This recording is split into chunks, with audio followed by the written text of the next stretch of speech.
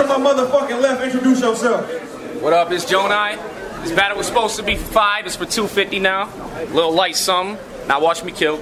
OT Mr. 48205. Let's go. So are you happy we battle now? Thought one fucking punch and you could Marquez Pacquiao. I made this bitch ugly but look good. Shallow how? See these levels to this hell I put it again. Now I'm a new nigga. I get hella bars, but I ain't got the fans. How ironic.